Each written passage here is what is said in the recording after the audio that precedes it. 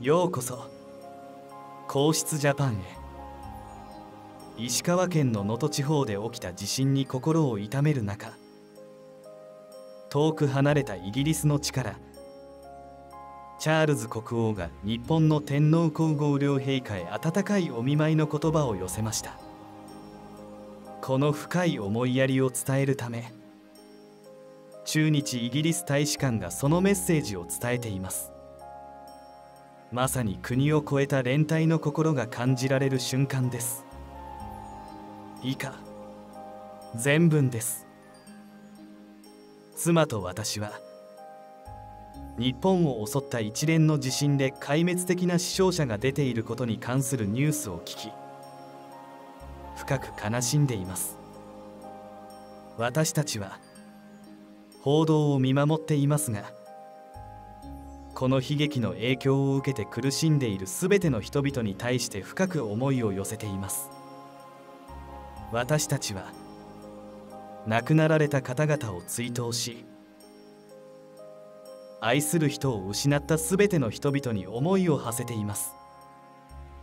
また私たちは捜索や救助活動に携わっている全ての人々の勇気を称賛します。この非常に困難な時に我が国の政府は日本国民を支援する準備ができています。と深い哀悼の心を込めて敬意の言葉を贈られました。これらの言葉は助け合いの精神と互いを支え合う人間の絆の強さが感じられます。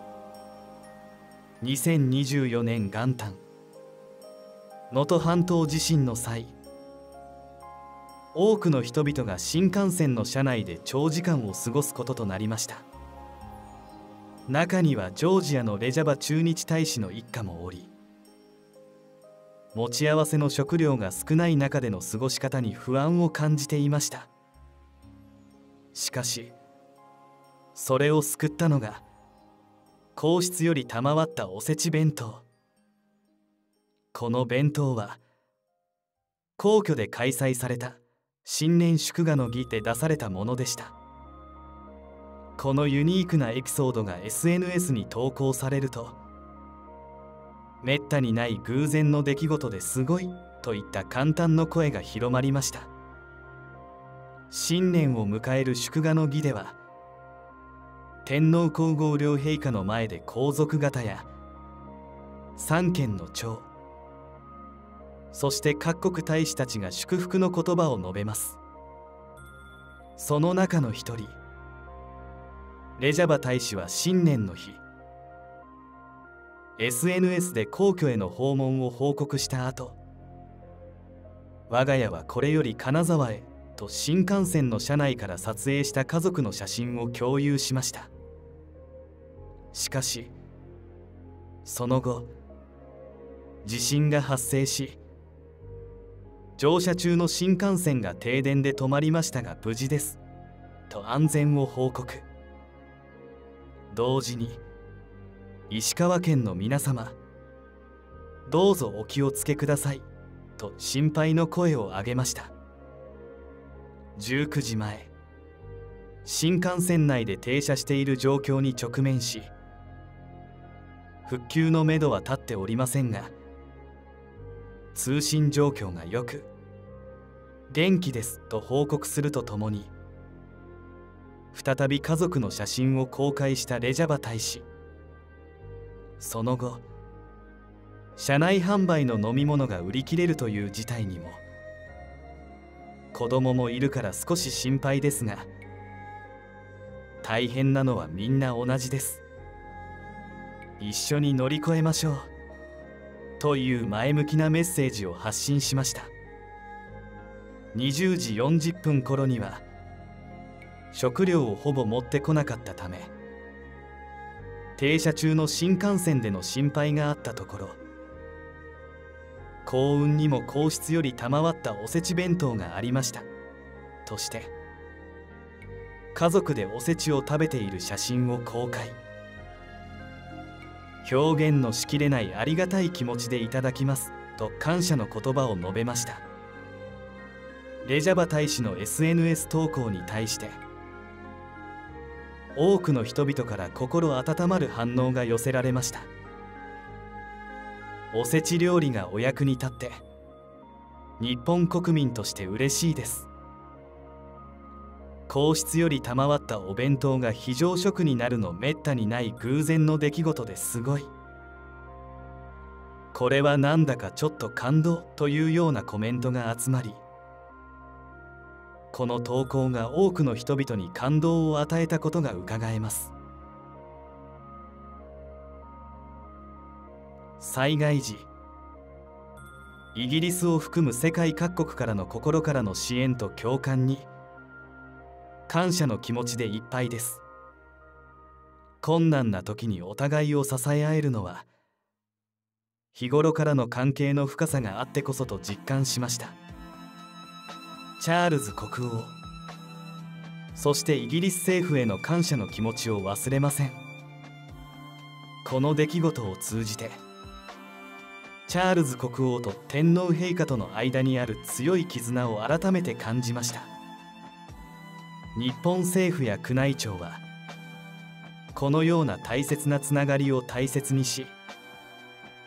決して軽んじてはならないと思います。私たち日本国民は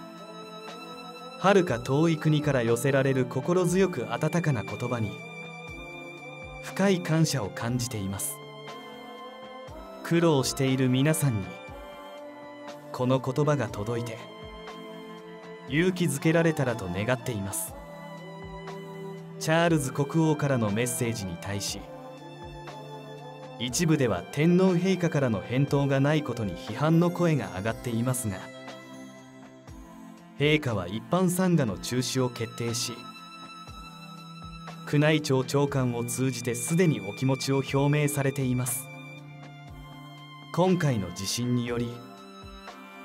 能登半島全域が甚大な被害を受け交通網も途絶えまだ救助が行き届いていない地域がある状況です。このような緊急事態の中で天皇陛下の感想を求めるのは少々時期尚早ではないでしょうか。以前ジョージアの大使夫妻が日本のコンビニ文化を非常に気に入っているという話をテレビで見たことがあります。テレビ局が密着取材を行い夫妻は日本の食品に対する愛着を語っていました。今回金沢への家族旅行中に地震に遭遇し新幹線内で足止めを食らいましたがその様子は非常に落ち着いていて敬意を表せずにはいられませんでした。多くの人がパニックに陥ったり車掌に苛立ちをぶつけるかもしれない状況の中冷静に対応し御所でのお土産であるお弁当を家族で共有し楽しむ姿は見事でした。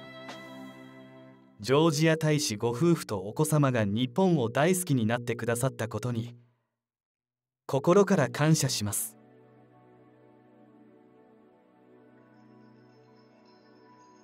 いかがだったでしょうか？最後までご視聴ありがとうございました。今回は以上となります。あなたの感想をコメントでお寄せください。この動画に対して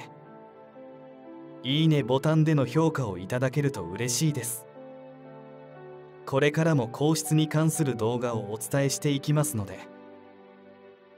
動画を見逃さないようにチャンネルの登録をお待ちしています。それではまた会いましょう。